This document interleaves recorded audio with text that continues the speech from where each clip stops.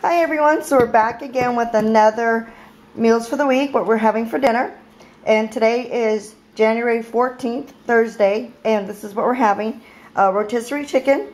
We have some fries that we had left over from last night and Caesar salad. This is hubby's. Ashley wanted ramen and she put an egg on top and she has chicken underneath. This one's mine.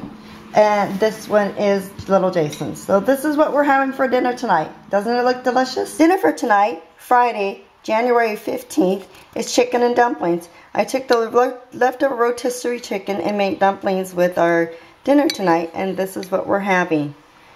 Um, the recipe is, I'm going to pin it on Pinterest, and you can see, but doesn't this look delicious? And this is what we're having for dinner tonight.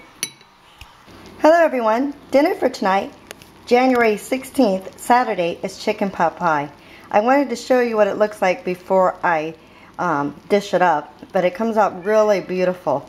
So this is what we're having for dinner tonight, and we're also having a salad. And I'll show you what it looks like when it's all dished up.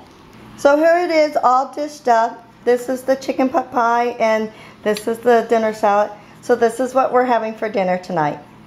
Hi everyone. So dinner tonight for Sunday, January 17th, the men are having pizza. Now these are one of the Paul Newman's multigrain pizza and I added pineapple and uncured pepperoni for them. This is hubby's and this is son's or hubs and sons. I think hubby took a bite out of his.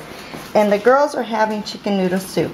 This is Ashley's and this is mine. I can't really have pasta so I picked out all the pasta. So I have the vegetables and chicken and broth and she has the noodles.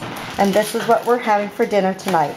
Dinner for tonight, January 18th, Monday, is crock pot chicken.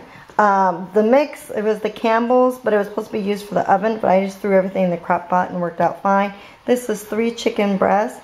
Um, as you can see, it is super tender and uber delicious. And then the last half an hour, I threw a bag of frozen vegetables in it, and the bag of frozen vegetables had broccoli, cauliflower, uh, zucchini and carrots and I threw it in with the gravy mix and then we're going to serve that over rice. So I'm going to plate it up and I'll show you what it looks like. Okay, here it is all plated up. It's got the chicken, the vegetables, and the rice. We're going to go out and enjoy our dinner. I hope you're enjoying your dinner and we'll get back to you tomorrow. Thanks for watching. Dinner for tonight, Tuesday, January 19th, is sushi. We have sushi when I do grocery shopping, and this is what we're having for dinner tonight.